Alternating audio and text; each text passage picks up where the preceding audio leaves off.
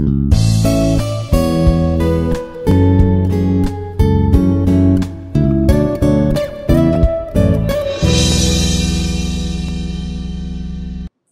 everyone, myself Padmaja, Associate Professor, Department of CSE, Institute of Aeronautical Engineering, Hyderabad. Now, let us discuss about the various operations that can be performed on arrays. So, operations on arrays is the today's topic. Now, let us start with what are the array operation. So, before going for array operation, what is an array? Array is a collection of homogeneous data elements. That means whenever you want to store data types, data of different types, data of similar types, then you have to go for an array concept. If you want to store the data elements of different types, then you have to go for a structure concept in C language. So, for homogeneous elements, we need an array. So, the elements are arranged in an array in consecutive order. That means one after the other in the consecutive memory location, the data elements are placed. So, based on this nature of array, what are the operations you can perform? So, these are the list of operations that can be performed on an array. One is called traversal. Second one is called copying. Then reversing, sorting, insertion, deletion, searching, merging. These are the basic operations which can be performed on a data structure like arrays. So, let us discuss about one by one the operations. So, what do you mean by traversing the elements of an array? So, traversing means accessing through the array each and every element you have to access and traverse in a particular order from left to right for a specific purpose. Okay. For example, if you want to perform some operation on them or if you want to count how many elements are there on the array. So, for different application, this traversal is required. Okay. So, in the traversal, either you can just traverse from A of 0 location to A of n minus 1 and you can simply display the elements one after the other. Otherwise, you can count the number of elements present in the array or if you want to do such kind of operation, then traversing is required. So, traversing is nothing but visiting each and every element of the array. So, to visit each and every element of the array, how to do it? Let us see one example. For example, we have an array n of 10, n of size 10 and 10 elements are there. Now, how to display these elements by traversing each and every element and until we go to the end of the array. So, for that, we need a loop. Suppose the, there are 10 elements in the array, write a loop which will run up to 10 times. So, for i is equal to 0, i less than 10 and i plus plus. So, when i is 0, 0 is less than 10, that means we are trying to access the element which is there at n of 0. So this element is there at location 0th location. This is there at n of 1. This is there at n of 2 and so on. So this i value indicates the position of the element in the array. So index position is given by i. So n of 0 element will be displayed. So 1 is displayed. Then second time when i increments to 1, then n of 1 which is nothing but 5 will be displayed. Then i becomes 2 then your 7 will be displayed. This process will be continued when i reaches to your 9, then your 15 will be 15 will be displayed. When i value reaches to 10, then the loop condition fails. So when the loop condition fails, we can see that our we have reached to the end of the array and we have displayed all the elements. This is called traversing and all the elements you can see in the. Now this is the first operation that is called traversing. Next is called copying the elements of an array. Suppose copying the elements of the array will create normally a duplicate array. Suppose the same length array, if you want to copy to another array, that means you are creating a duplicate array for the original array. So to create a duplicate array or wherever you want to copy the elements of the original array, then you have to find out what is the length of the array first. Okay.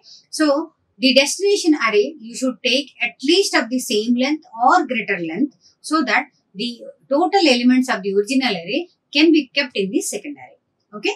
So, copying of the elements, how it is done? Normally, it is done index by index position. Suppose the first array's zeroth index element will be stored into the second array's zeroth index only.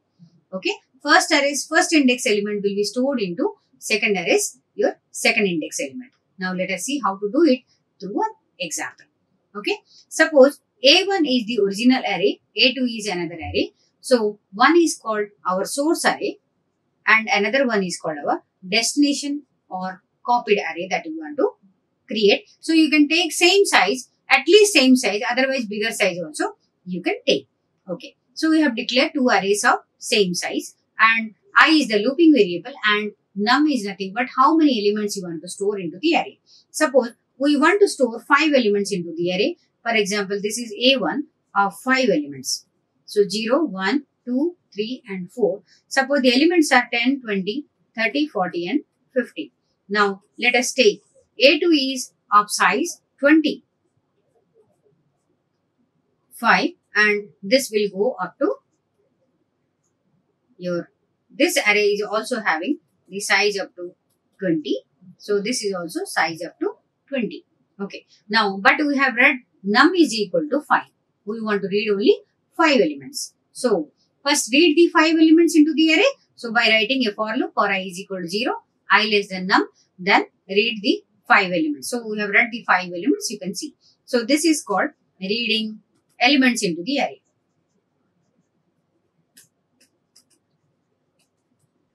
Now, next what do we have to do? We have to copy the data elements index by index to the second array. So, what we will do? So, we will write down the same for loop and for i is equal to 0, i less than number of elements which is there in the first array and what we will do? a2 of i is equal to a1 of i. First time i is equal to 0. So, it is same as a2 of 0 is equal to a1 of 0. That means the element which is there at a1 of 0 will be copied into a2 of 0. So 10 will come here. Then i is incremented to 1. So it is a2 of 1 is equal to a1 of 1. That means the value at index position 1 is copied is copied to here. So a2 of 1. So 20 is copied here. Like that index by index each element will be copied into the second array. So this is the mechanism. After copying into the second array, then we can display the content of the second array by writing the loop like this. Now, after discussing about the traversing operation and copying operation, let us discuss about how to reverse the elements of an array. So, reversing the elements of the array means that the sequence of elements will be reversed. Okay. So, for example, the array has two elements, a of 0 and a of 1, containing 1 and 2. So after reversing, it will be 2, 1. a of 0 will contain 2, a of 1 will contain 1. So there are two methods to perform the reversal of array. So there are mainly two logics are there how to reverse the content of the array. First logic is use an another array B to store the array, the, the content of the array in reverse order. That means using another array the original array's contents in the reverse order, we can copy it into another array and we'll find out the reverse of the array. Otherwise, without, there is second method is without using a second array, in the first array itself, you can copy the elements according, according to their index position. That means A of zeroth element will be interchanged with A of n minus one element. A of one element, A of first element will be copied with, will be interchanged with A of n minus two element. This way, by interchanging the elements in the same array itself, then we can find out the reverse of the array. So, let us discuss both the methods using example. So, first method is reversing the elements of the array using a third array or using an another array. So, what do you have to do? First, we have to read the contents into an array. So, this is called reading an array. So, we can observe over here a of 20 Suppose it is our original array and this is an empty array we have taken where we want to store the content of the original array in reverse order. So at least you can take the same size or you can take a bigger size, no problem. So first of all, we are reading the elements into the array. Now, what is the logic to read the element in the reverse order and store it into the second array? So what do you have to do? First, we will go to the last element, last index position. For example, this is the array. So, this is A of 0, 1, 2, 3 and 4. So, 10, 20, 30, 40 and 50. This is the logic. So, n is equal to 5 elements are there. Now, what we have to do? We have to keep, we have to come to the end of the array and then we have to copy these contents into in reverse order to this array of same size. That means this A of 4 should come into B of A of 4 should come into B of 0. So how it will come? So n is equal to 5. So we'll write down the logic i is equal to n minus 1 because the index starts from 0. So n minus 1. So which is nothing but i is equal to 4 because n is equal to 5. So i is equal to n minus 1 means 4. And see j is equal to 0. So j is the variable for the second array and i is the variable for the first array. So i is equal to 0 and i greater than equal to 0. What is the value of i? 4. 4 is greater than equal to 0. Yes, it is true. If this condition is true, what we are doing? We are copying b of j. b of j, j means 0 is equal to a of i, a of 4. So, a of fourth index element is 50. That is now copied into b of 0. So, here 50 will come. Then, then i minus minus and b j plus plus. So, j becomes 1. So, b of 1 is equal to a of 3 next time. So, a of 3 contains 40. That will come into b of 1. Then similarly, every time i is decremented, j is incremented. So 30 will come here, then 20 will come here and 10 will come here. So this is the way the elements will be copied in reverse order to the second array. And after copying, we can simply display the content of the reverse array. So this is the first method for reversing the content of the array. Then we have another method that how to reverse the content of the array without using any additional array.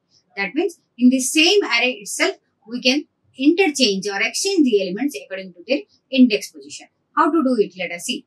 So, first of all, we are we have taken one original array A of 10, for example, size. Okay.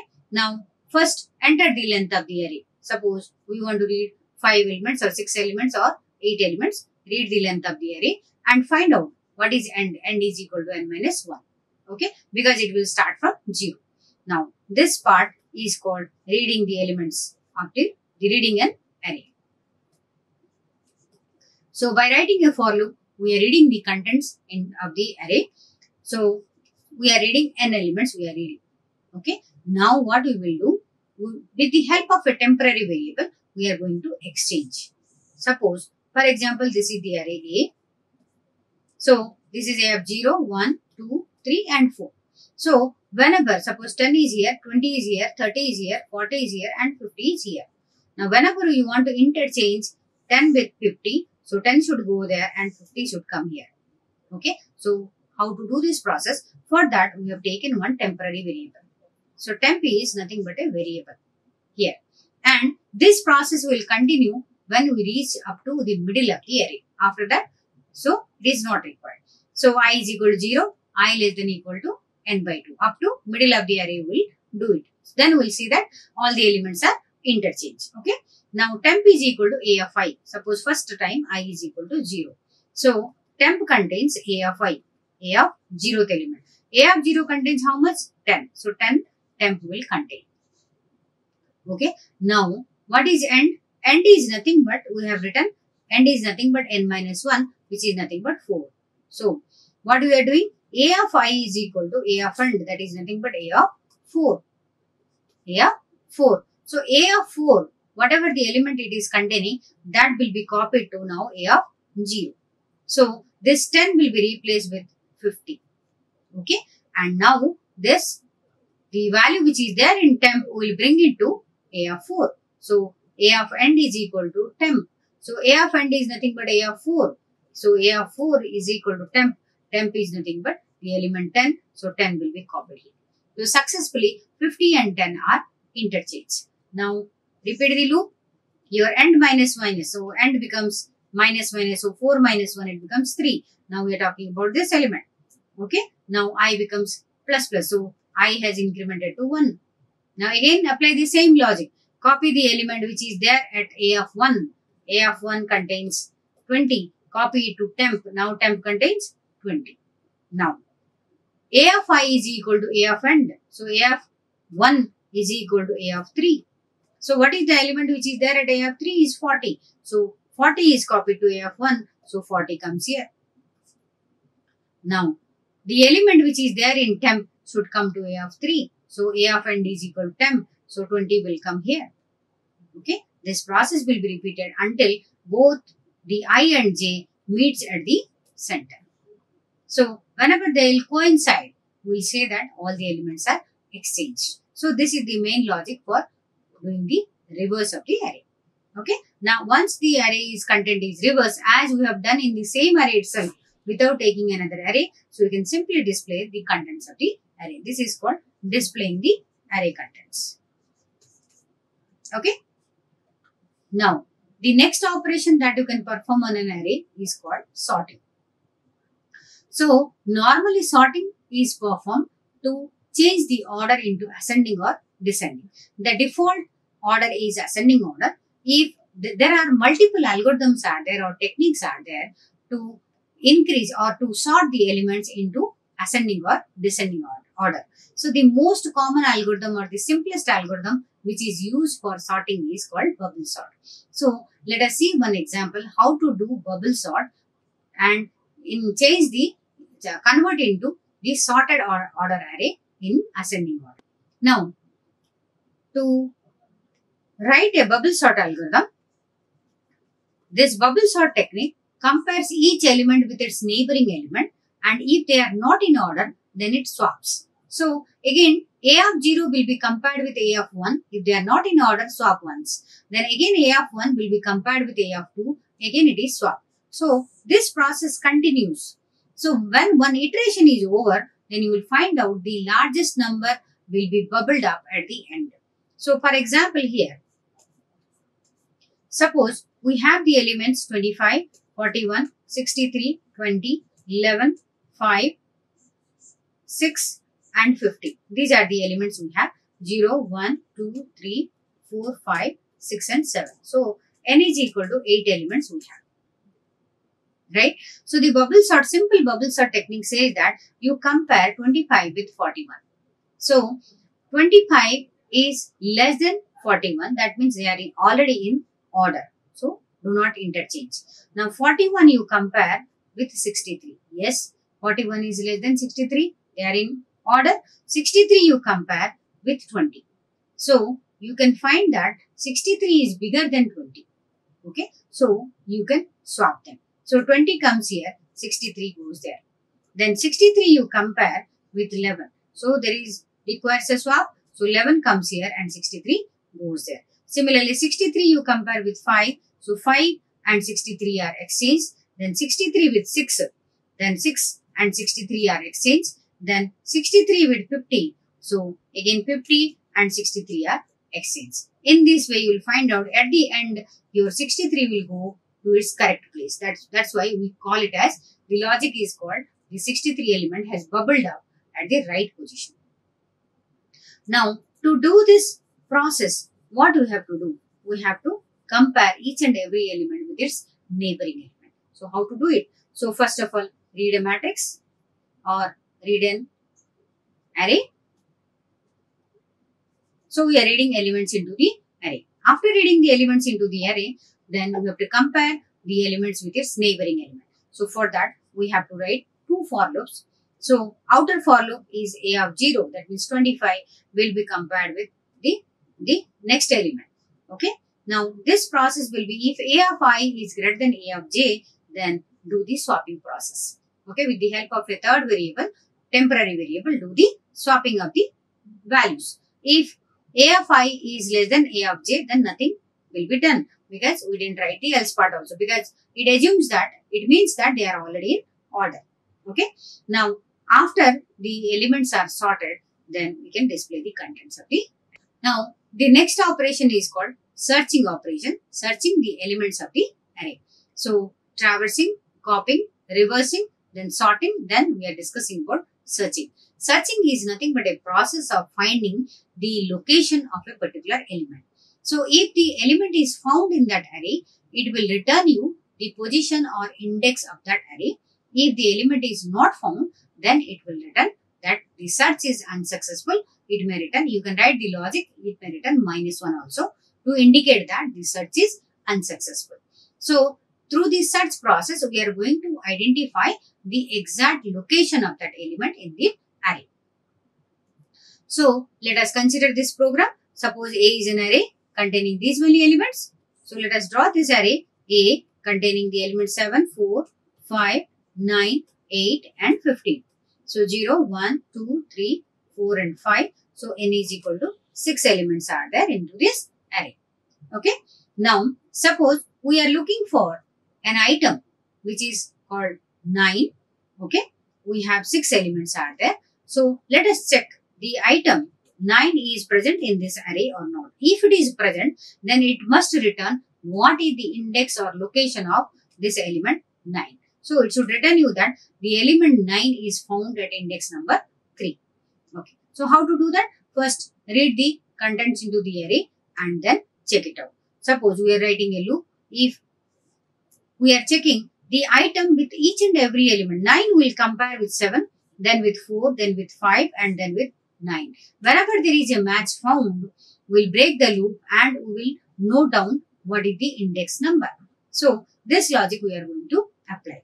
So, here if A of j is equal to item, then break the loop. Otherwise, continue the loop for comparing with the rest of the numbers. So, if it is found, then what is the index position? J will give you the index position that you have to note down. So, this is nothing but the element is found at your third index. Thank you so much.